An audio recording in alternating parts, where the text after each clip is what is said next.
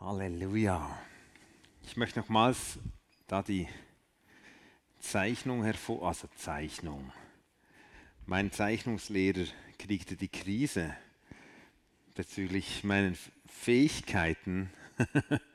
und darum ist es witzig, dass ich heute versuche, ab und zu mal eine Skizze aufzuzeichnen. Und wir sind ja gestern gestartet mit der Frage Lebenssaft. Wo können wir in diesem Lebenssaft hineinkommen? Wir haben gestern über einen Segenskreislauf gesprochen, dass Gott der Spender ist Bereits am Anfang der Welt hat er angefangen zu spenden, Segen zu spenden, Gutes auszusprechen über Menschen. Und das ist an uns immer wieder zu empfangen. Und dann haben wir gestern ganz stark diesen Weitergeben-Effekt nochmals betont. Wir können nur immer wieder in diesen Kreislauf reinkommen, wenn wir bereit sind, das, was wir haben, auch wieder zu teilen. Kürzlich saß meine Frau und ich in einem Restaurant und manchmal macht es richtig Sinn zu teilen. Äh, Restaurant sagt man bei euch nicht. Äh? Doch, ah, echt. So französisch angehaucht seid ihr schon. Krass. Okay. Also, Fakt ist, wir saßen da und ein Freund von mir wusste, dass wir da hingehen. Wir gehen nicht so viele auswärts essen. Und äh, dann kam der Kellner und brachte uns eine tolle Flasche Wein und ein guter Tropfen. Und ich sagte, hey, sorry, wir haben den nicht bestellt. Und so hat er gesagt, doch euer Freund hat da uns beauftragt, euch diese Flasche zu geben. Und übrigens, dieser Freund hat auch gesagt, alles, was ihr bestellt, geht eh auf seine Rechnung. Und äh, fand ich cool. Leider hatte ich schon bestellt. Mist. Okay. äh, daher ist es gut, großzügig zu sein. du weißt nie, wenn jemand dir das was zahlen möchte. Und auf jeden Fall sind wir da bei dieser Flasche Wein gesessen und zu zweit eine Flasche Wein. Ich weiß nicht, wie es bei euch ist, so. Wobei ihr Deutschen habt ja, ja, ihr mögt schon was. Hä? So.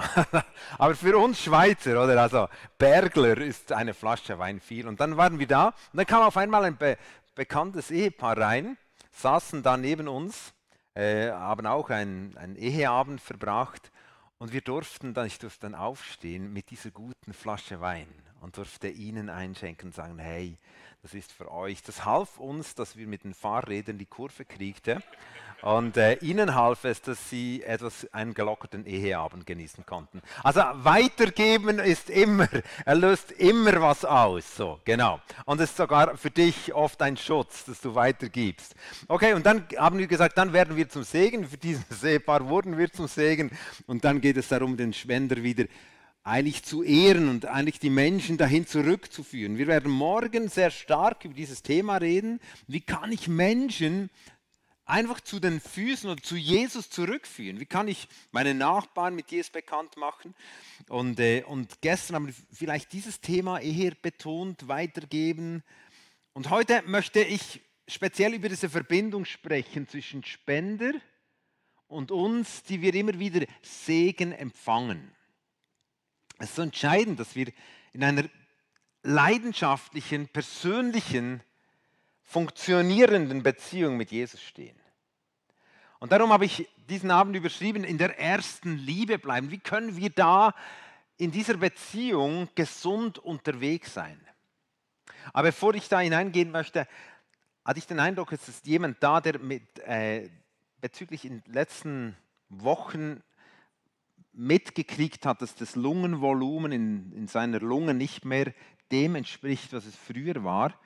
Oder also bist ärztlich untersucht worden. Ich glaube immer wieder, dass während Predigten oder grundsätzlich, also, dass Jesus einfach heilt. Ich meine, dort, wo er hingekommen ist, konnte er es kaum einmal sein lassen, Menschen zu heilen. Er hat es immer drauf gehabt.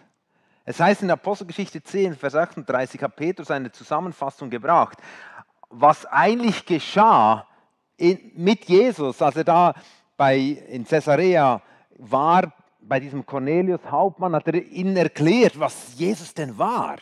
Und da beschreibt Petrus vier Dinge. Er hat gesagt, er war erfüllt mit dem Heiligen Geist. Er zog umher, er war aktiv. Er saß nicht zu Hause und gewartet, dass das Reich Gottes kommt, sondern er ist aktiv, hat er was bewegt. Und dann heißt es, er tat Gutes und er heilte alle.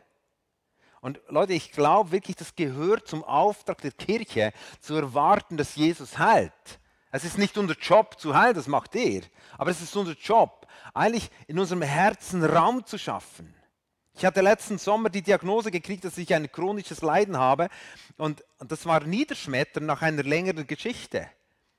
Und ich darf heute wirklich sagen, ich bin medikamentenfrei, einfach durch ein Wunder von Jesus. Und es ist immer wieder an uns, einfach diese Pflöcke weit zu setzen und sagen, Jesus, wir trauen dir alles zu. Wir, wir, wir glauben, du bist der Allmächtige. Ich liebe dich, egal was jetzt geschieht. Aber, aber ich glaube einfach, ich glaube, dass du Bewegung hineingibst. Und wir glauben immer wieder, dass, dass, Menschen einfach geheilt werden. Jetzt auch, wenn, wenn du da bist mit diesem Lungengeschichte und ich glaube, dass jemand da ist, der ein, ein vermindertes Hör, Hörmöglichkeit hat auf der rechten Seite und Leute in deinem Umfeld sagen, du sollst es endlich mal ärztlich abklären und du weigerst dich bisher. Und ich glaube, dass Gott einfach da hineinkommen möchte, um Heilung zu bringen. Ich glaube, dass auch jemand da ist, der vor noch nicht allzu langer Zeit mit seiner linken Faust so richtig auf einen Tisch geschlagen hat. Wahrscheinlich bist du Linkshänder, sonst hättest du die rechte genommen oder vielleicht hattest du in der rechten Hand etwas. genau, aber da war irgendwo ein Wutausbruch und du schämst dich darüber. Es war nichts, es ist nichts kaputt gegangen, aber du schämst dich. Und ich sage dir was, Gott hat diese Geschichte gesehen und er möchte, dass du diese Scham ihm bringst. Römer 8, Vers 1 heißt, es ist keine Verdammnis für die, die in Jesus Christus sind. Und diese Geschichte möchte Jesus lösen und auch deine Wut in deinem Herzen, wo du manchmal fast nicht weißt, wie das zum Ausdruck kommt. Und ich glaube, er möchte dich in Befreiung bringen, indem du wirklich einfach vergeben darfst. Vergebung ist eine Entscheidung, ist nicht ein Gefühl. Es ist nicht eine Reaktion dessen, dass der andere endlich checkt, dass er was falsch gemacht hat, sondern Vergebung ist eine Entscheidung, die du in deinem Herzen triffst und Jesus dich in dem Sinn auch dann befreit. Ich glaube, dass auch jemand da ist, der mit Krampfadern Schmerzen zu kämpfen hat auf, linken, auf dem linken Bein. Und ich glaube einfach, dass Jesus, Jesus sagt es nicht einfach so, dass so heiteres Krankheitserraten, sondern er möchte da hineinkommen, um einfach Heilung zu bringen. Auch die Person, die da ist, die ähm, in den letzten Wochen immer wieder so in der Mitte der Stirn Schmerzen gehabt hat. Und darf ich einfach jetzt einen Moment still sein und beten, dass einfach Jesus heilt. Und wenn du betroffen bist von einer dieser Geschichten, dann leg deine Hand an diese Stelle, wenn es möglich ist. Und wenn du sonst Geschichten hast, dann erwarten wir, dass einfach Jesus kommt. Und dann wollen wir hören dann, was er tut. Und ich, Jesus, ich bin dir so dankbar, dass du dich immer wieder auch um unseren Körper kümmerst. Unser Körper ist dir nicht einfach irgendwo eine Angelegenheit, die uns physikalisches Leben ermöglicht, sondern unser Körper ist ein Ort, den du erwählt hast, um darin zu wohnen durch dich, Heiliger Geist. Und wir danken dir, dass du sehr interessiert warst an Menschen, um sie zu heilen, auch von körperlichen Leiden. Und ich bete jetzt hinein, dass du kommst und diese heilende Hand von dir auf Menschen da drin legst, die betroffen sind von Geschichten, die aufgerufen worden sind, aber die auch betroffen sind von anderen Geschichten. Ich glaube wirklich, dass du, dass die Zeit da ist. Das ist seit ein paar Wochen spricht Gott immer wieder darüber, dass die Zeit jetzt da ist, wo chronische Geschichten ein Ende finden. Und das glauben wir. Wir glauben, dass diese Lunge berührt wird. Wir glauben, dass eine neue Dimension von Lungenvolumen jetzt hineinkommt. Wir glauben, dass Heilung geschieht an diesem Kopfschmerzen und, und was auch immer da alles du be bereits betont hast. Und du lebst es, du lebst und wir lieben dich. Und wir lieben dich nicht einfach, weil du stark bist, sondern weil du bist, wer du bist. Darf ich dich bitten, Geist Gottes, dass du jetzt auch unsere inneren Herzensdimensionen öffnest, damit wir empfangen können. Ich bete, dass diese Beziehung zu dir ganz neu befreit wird. Ich glaube, da ich sehe so eine, eine Pipeline vom Himmel zu unserem Leben, die verstopft worden ist, auch durch Gleichgültigkeit. Und ich bete, dass da du einfach kommst und, und neu das entstopfst und diese Liebe des Himmels direkt unser Herz erfasst. Danke vielmals. Halleluja. Und danke, dass du wirkst, nicht weil wir gut drauf sind, sondern weil du gut drauf bist. Und trotz und in all unserer Schwäche wirkst du. Halleluja. Amen.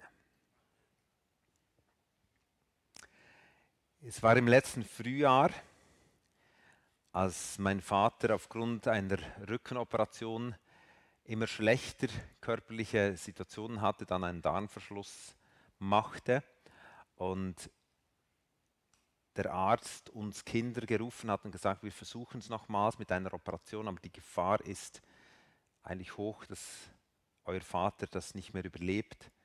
Die Entzündungswerte sind sehr durch die Decke gegangen. Kommt doch noch vorbei. Ich war damals in Luzern an einer Sitzung, bin mit dem Zug unterwegs gewesen. Den Zug kannst du nicht schneller machen, als er ist. Ähm, genau, und da bin ich dann in Thun eingefahren und ich wusste, ich will so, so, rasch wie möglich zum Vater mit der Möglichkeit und der Hoffnung, dass ich ihn noch erreiche, bevor er ins, in den OP geschoben wird. Und ja, mit der Möglichkeit, dass ich ihn nochmals bei wachen Augen sehe. Ich bin da rasch ins Spital hineingelaufen, kam in sein Zimmer und mir wurde mitgeteilt, dass er in den nächsten Minuten gleich abgeholt wurde. Abgeholt wird, wird, er war noch dort.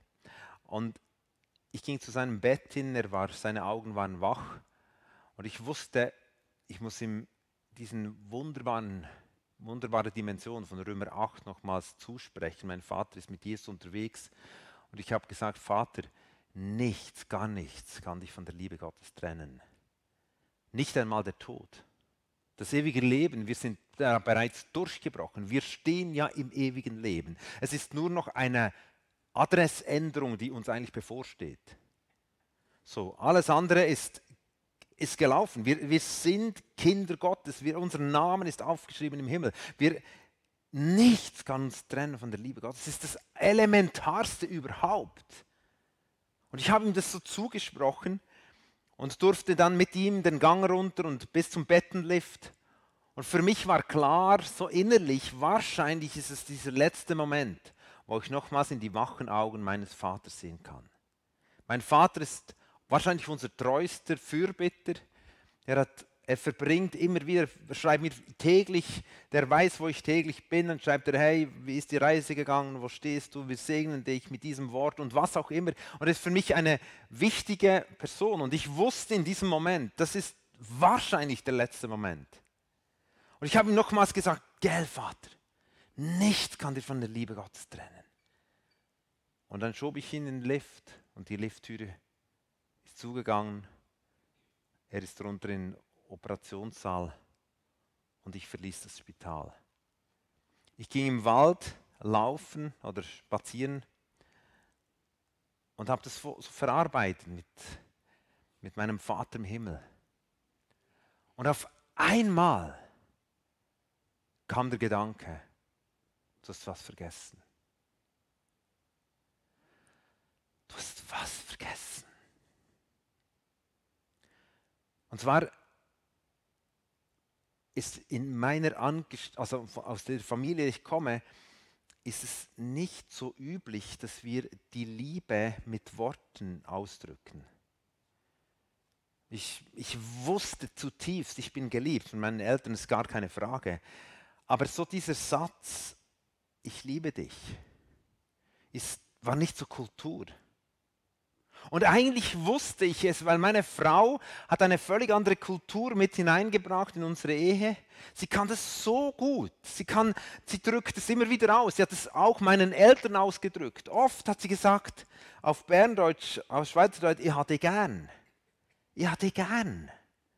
Und das löst etwas aus. Ich liebe dich.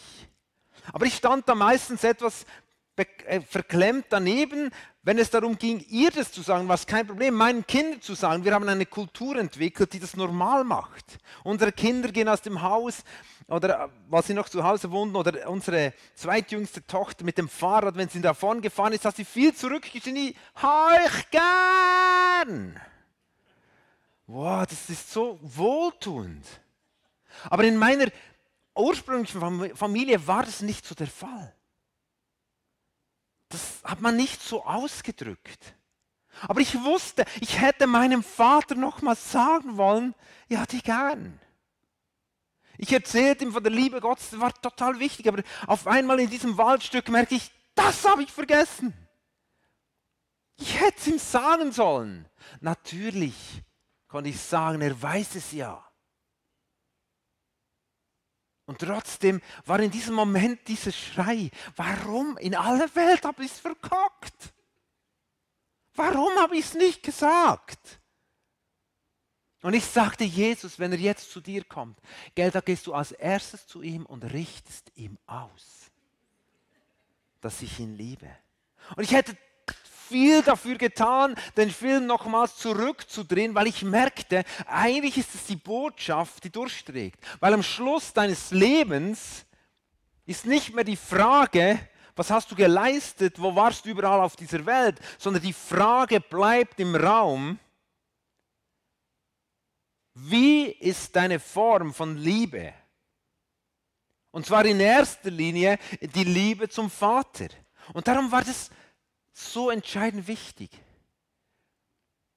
Das Glück war, dass mein Vater diese Operation überlebt hat.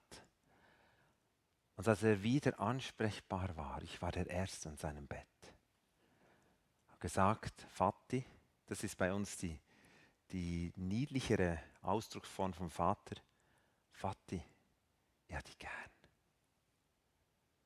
Und über seine Lippen kam ich dich auch. Und seither versuchen wir uns darin. Manchmal am Telefon sage ich am Schluss, denke ich, ich sollte es noch sagen. Nein, ich sage es nicht. Doch, sag. Nein, nein, nein. Also, das, doch. Du willst ja nicht nochmals diese Waldspaziergänge. Und dann sage ich manchmal, ja, die gern. Und wisst ihr, ich spüre in meinem Herzen die Ausdrucksweise der Liebe ist eigentlich das, was schlussendlich zählt. Weil als Jesus gefragt wurde, was ist eigentlich das Wichtigste im Leben, sagt er in Matthäus 22, 37, Du sollst den Herrn, deinen Gott, lieben von ganzem Herz, mit ganzer Hingabe, mit ganzem Verstand. Dies ist das größte und wichtigste Gebot. Jesus sagt damit, diese Liebe zum Vater, an dem hängt alles. Natürlich jetzt nicht zu meinem leiblichen Vater, an dem hängt nicht alles. Und trotzdem ist es eine Beziehung, die das ausdrückt, was ich eigentlich zu Gott empfinde. Also das ist wie ein eine, eine kleines Spiegelbild.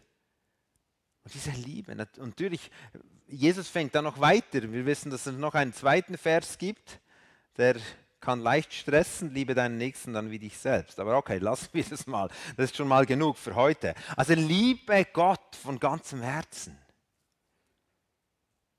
Und weißt du was, diese Liebe, die Liebe des, zu dem Sender, zu dem Spender des Segens ist entscheidend für unser Leben. Und genau das ist umkämpft. Jesus sagt uns in zwei Kapiteln später nach diesem Vers, sagt in Matthäus 24, 12, und weil die Gesetzlosigkeit überhand nehmen wird, er erzählt davon der Zeit, bevor Jesus wiederkommt. Wann Jesus wiederkommt, kann ich nicht sagen, aber wir standen noch nie so nahe wie jetzt, das bin ich ziemlich sicher. Aber weil die Gesetzlosigkeit überhand nehmen wird, wird bei den meisten die Liebe erkalten. Jesus sagt, das Elementarste eures Lebens ist die Liebe zum Vater. Es ist das absolut Wichtigste. Es ist das und das dreht sich schlussendlich die Geschichte.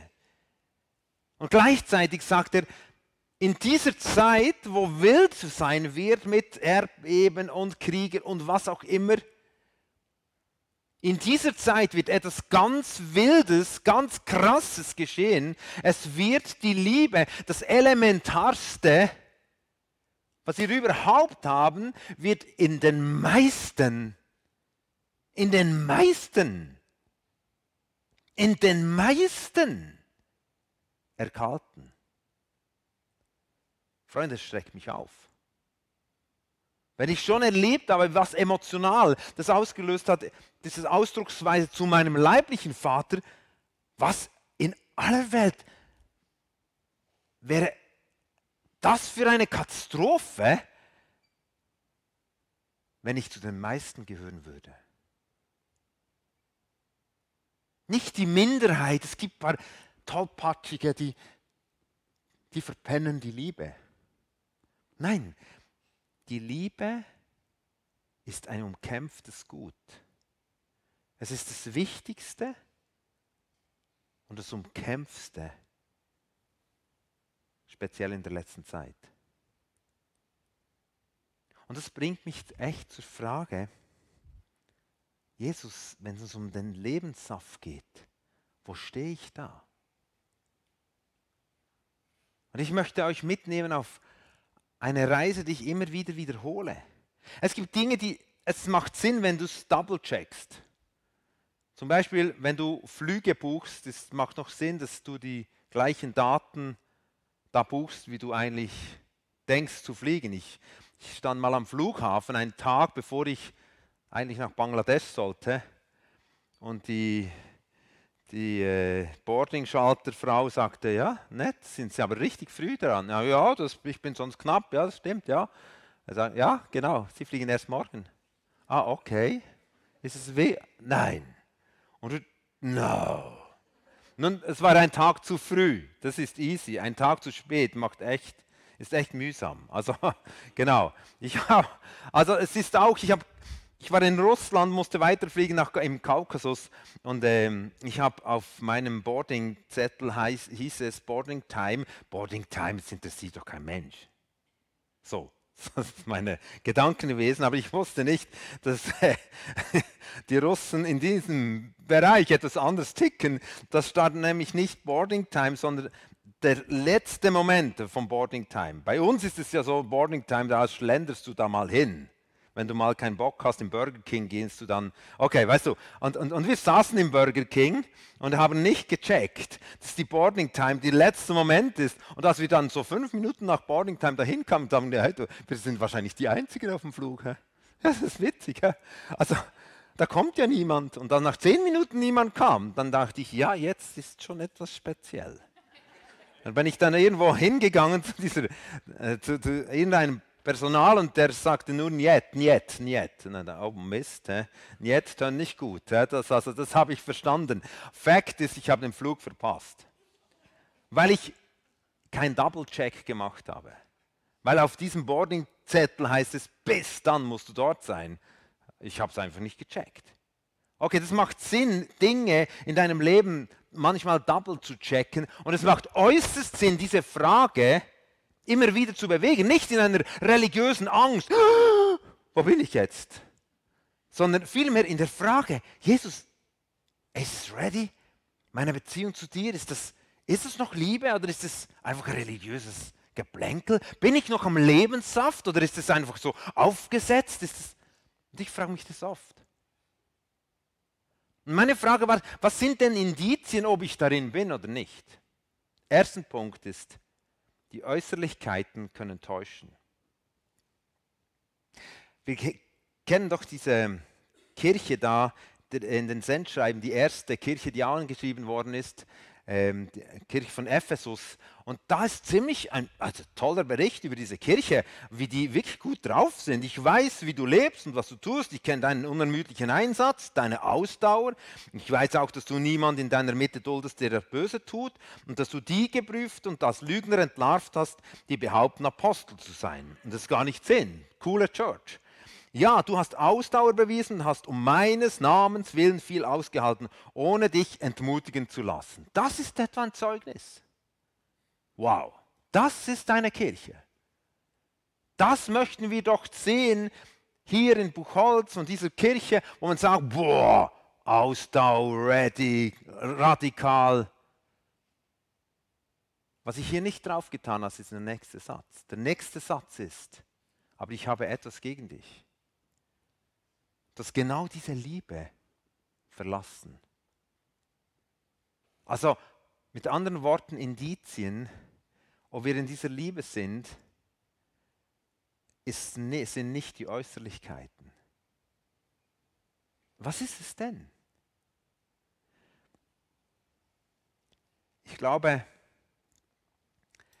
Jesus hat ja in diesem Satz, den wir vorhin gelesen haben, Matthäus 24, 12, hat er gesagt, die Liebe wird den meisten erkalten, weil die Gesetzlosigkeit überhand nimmt. Gesetzlosigkeit heißt, es gibt keine Grenzen mehr. Alles ist okay. Wenn es für dich okay ist, dann ist es okay. Das ist Gesetzlosigkeit.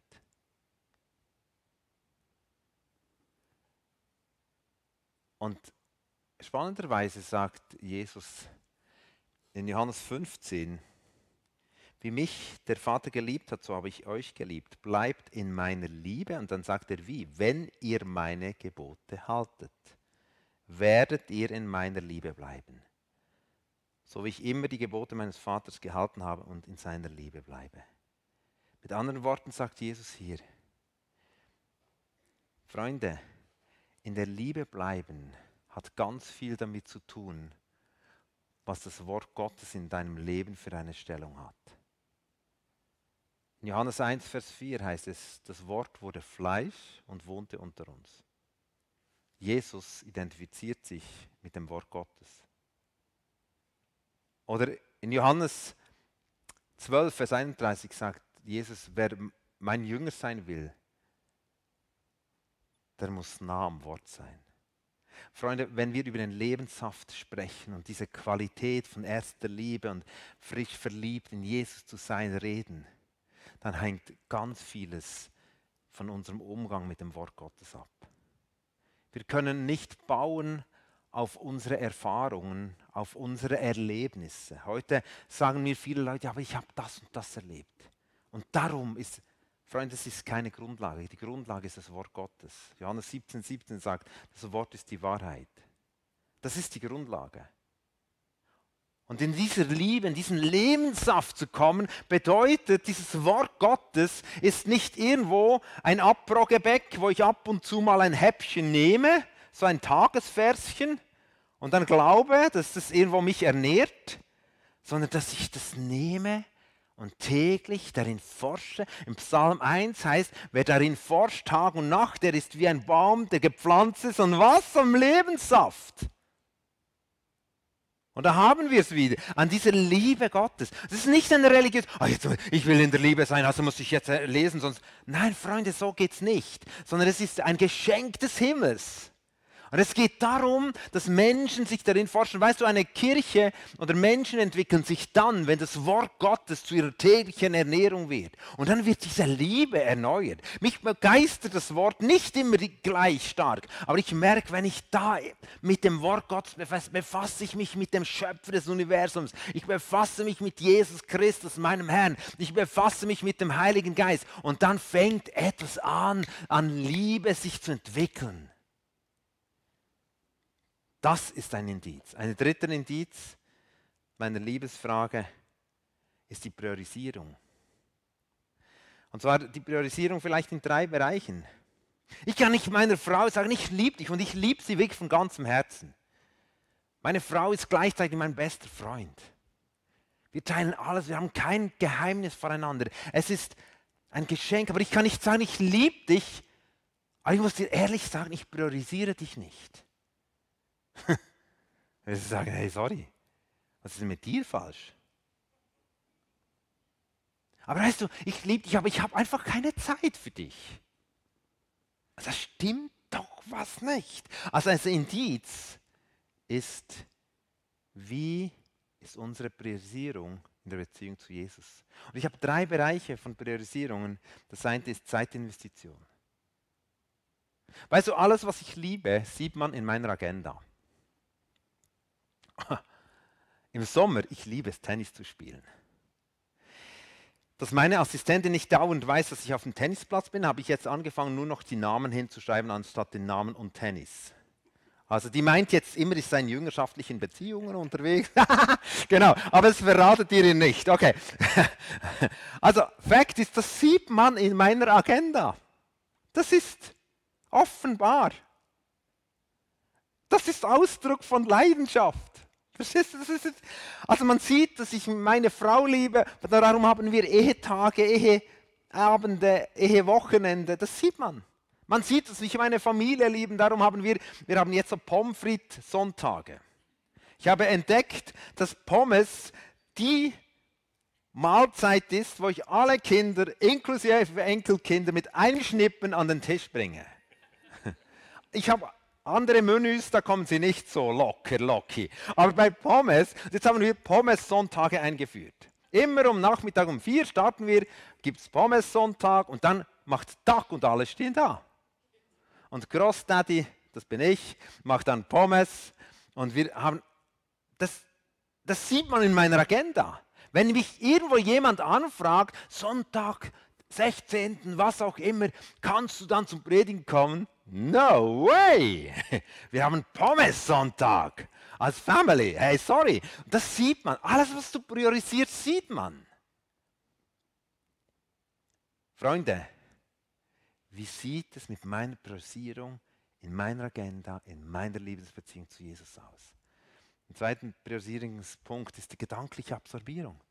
Ich kann doch nicht nach Hause kommen und sagen, oh Susi, ich liebe dich, aber ich habe den ganzen Tag nie an dich gedacht.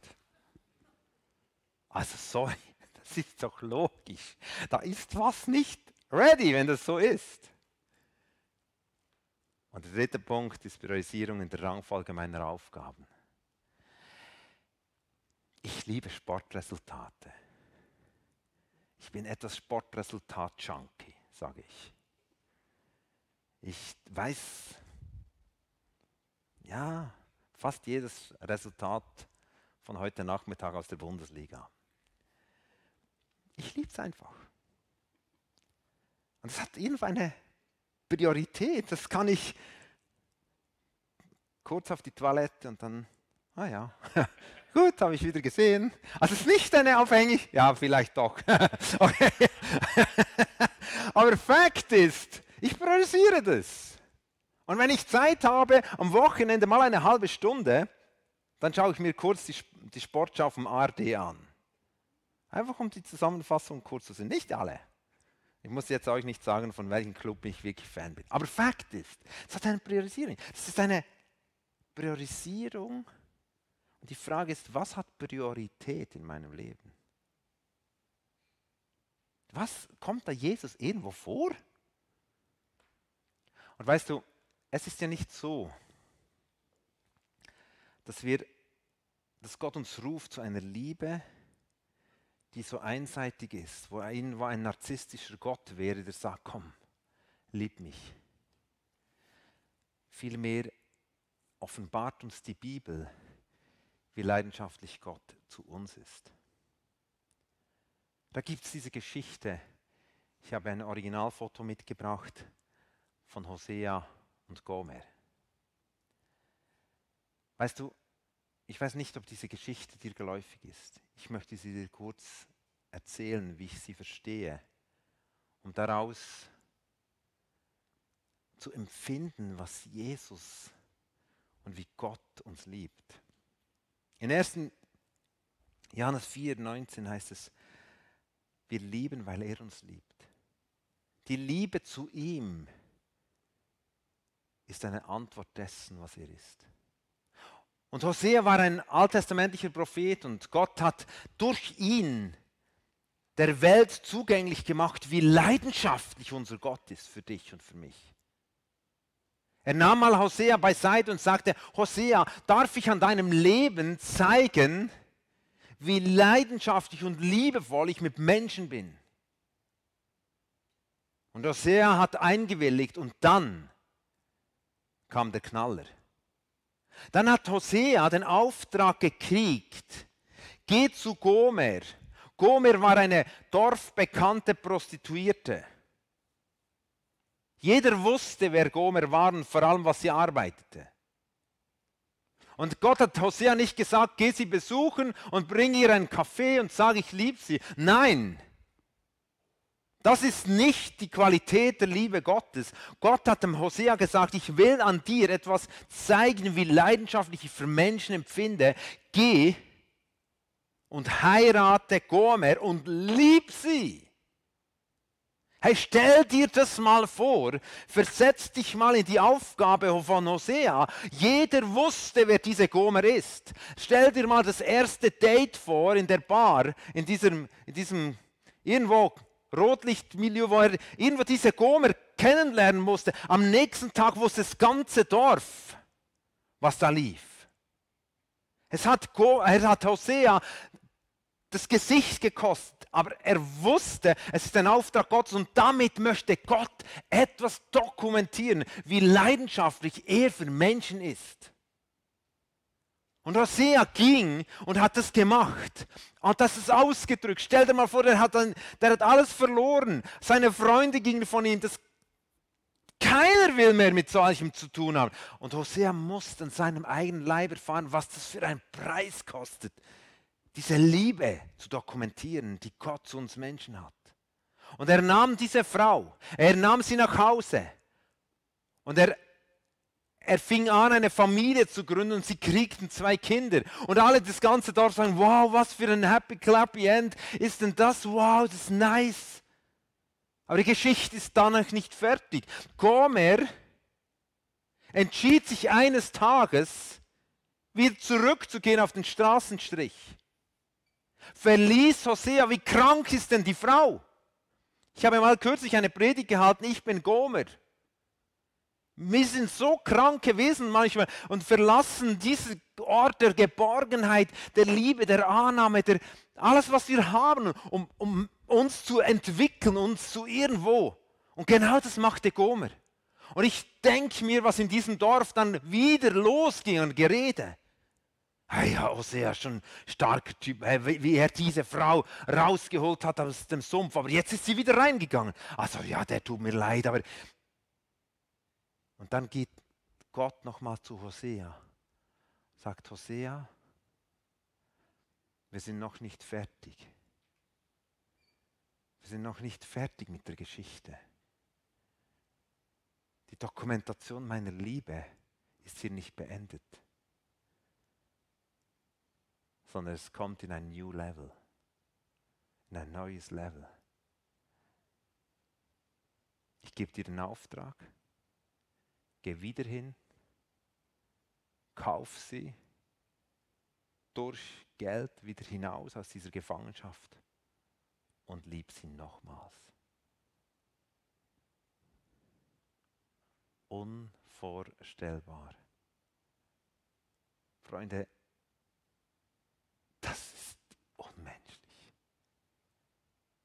Hosea tat es. Und Gott offenbart uns, wie seine Liebe zu uns ist. So ist er. So eine durchbrechende, unaufhörliche Liebe hat dieser Vater für uns. Das ist die Ausgangslage. Und am Schluss dieser Geschichte heißt es in Hosea 3, Vers 5. Danach werden die Söhne Israels umkehren und den Herrn, ihren Gott, suchen und David, ihren König.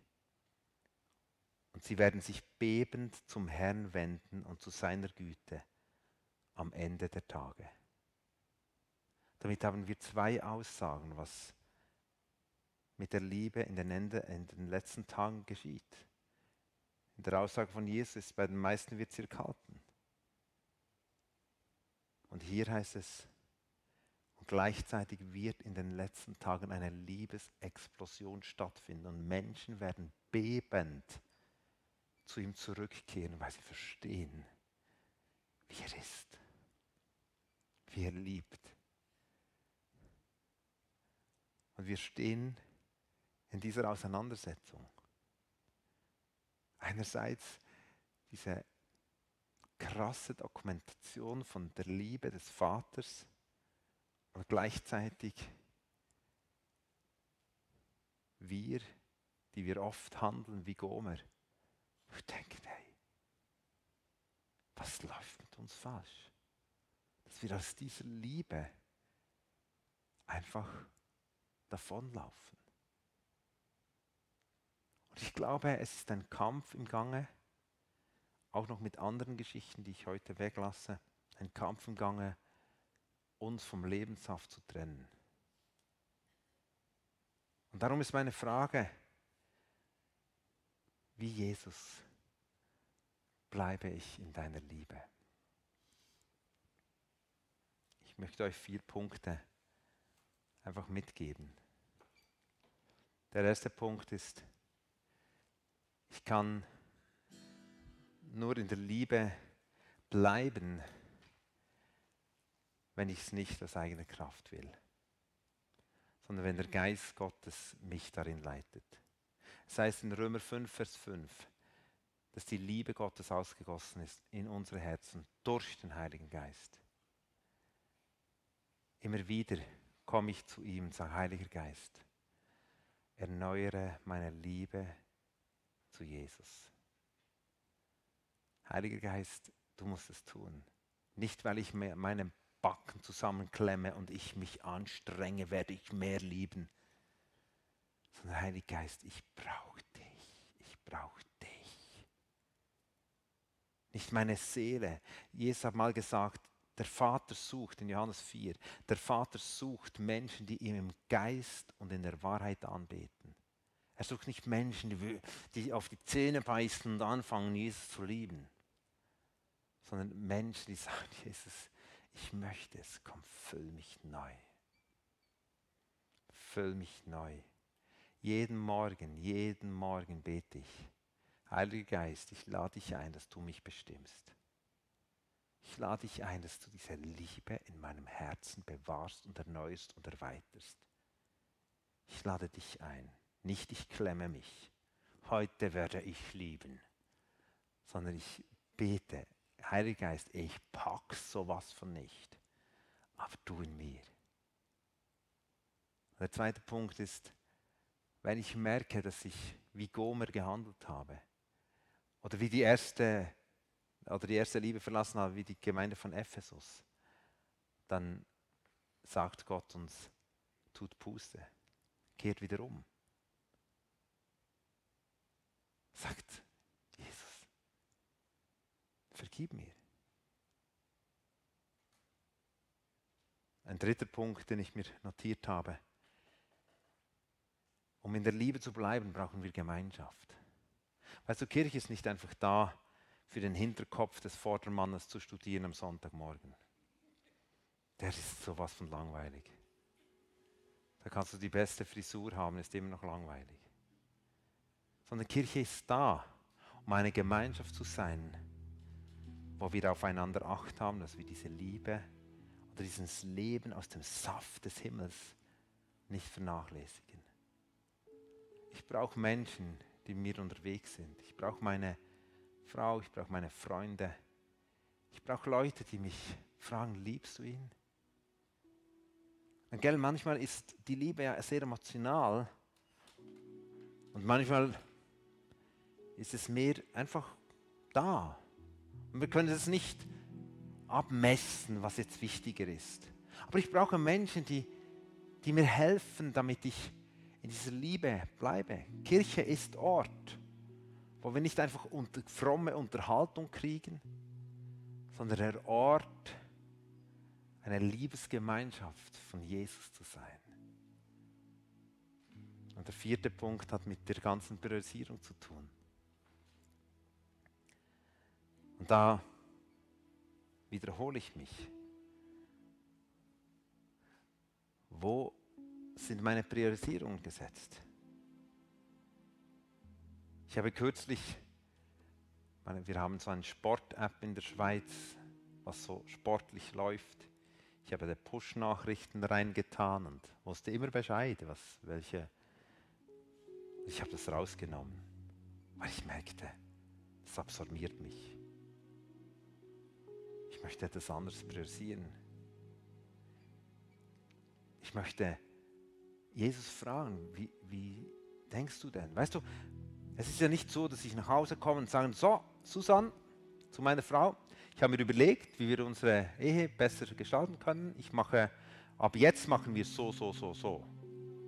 Und sie denkt, hä? Darf ich auch noch was sagen dazu? Es ist ja unsere Beziehung. und darum sprechen wir darüber, wie können wir unsere Beziehung gesund halten. Und genau gleich ist es mit Jesus. Es geht nicht darum, dass ich sage, okay Jesus, ich habe mir heute überlegt, ab jetzt mache ich so, so, so, so, so. Jesus sagt, ja, das ist nice, aber ich hätte es mir eigentlich anders überlegt. Sondern es geht darum, mit ihm diese Fragen zu klären. Wo darf ich? Wie, wie hast du es gedacht, Jesus? Gibt es einen Ort, wo ich mich immer wieder zur Ruhe setzen kann? Gibt es eine Form? Was hast du dir gedacht bei unserer Liebesgeschichte? Wie möchtest du es? Und er hat konstant Ideen. Er will, dass wir an seinem Lebenssaft bleiben, dass wir gedanklich, rangfolgemäßig mit unseren Aufgaben in die richtige Richtung kommen. Und er gibt nicht nur das Wollen, sondern auch das Vollbringen. Er ist der, der die Idee hat und gleichzeitig mit seinem Geist der Ausführende ist in mir. Mein Teil ist eigentlich nur zu kooperieren und sagen, ja, das will ich. Ich will das. Komm, füll mich. Und ich glaube, und das war mein Gebet, dass Jesus diesen Abend gebrauchen will, um ein, ich weiß nicht, ob ihr den Begriff kennt, Tete-a-Tete. Tete-a-Tete ist so das Ihr seid richtig gebildet, Französisch. Das ist, äh, ich merke, äh, es, gibt, es gibt Teile in Deutschland, da verstehen Sie kein Wort. So, wir haben viele so französische Wörter, die schauen mich an wie vom Mond. Okay, aber ihr, da im Norden, das ist hohes Niveau. Genau. Also Tete Tete. Hey, wir können richtig normal miteinander reden. Gut. Aber ich glaube, dass es oft so ein Tete Tete gibt mit Jesus. Sagen, hey Jesus, das frage ich manchmal auch mit meiner Frau. Bist du, ist, ist gut? Wie machen wir es? Wie gehen wir in dieser Lebensphase neu miteinander um? Wie können wir unsere Liebe zum Ausdruck bringen? Wie, das braucht Gespräch. Und Jesus hat eine Meinung. Er sagt nicht, du, dein Problem. Nimm mich Wunder, wie du es machst. Nein, er hat, er hat Ideen, er hat, oh, er sehnt sich.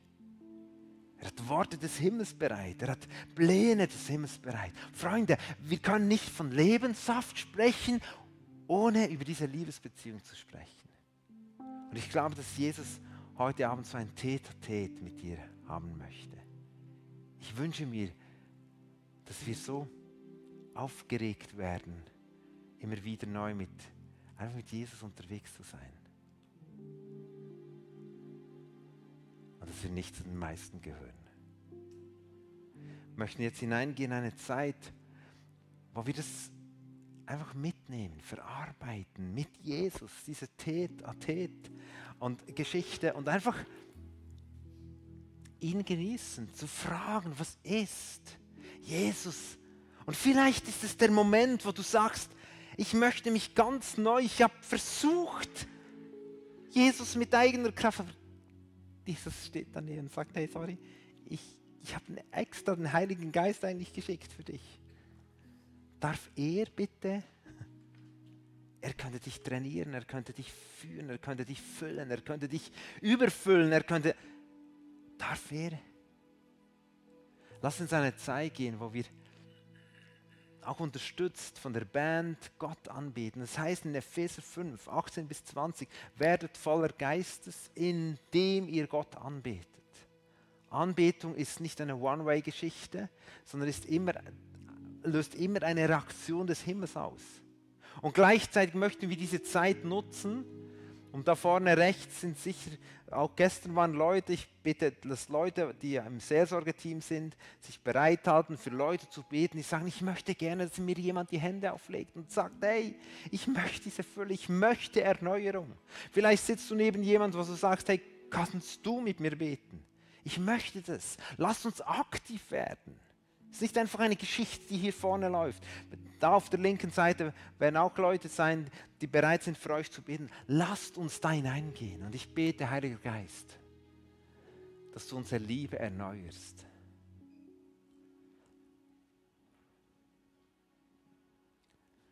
Und dass etwas Erfrischendes reinkommt.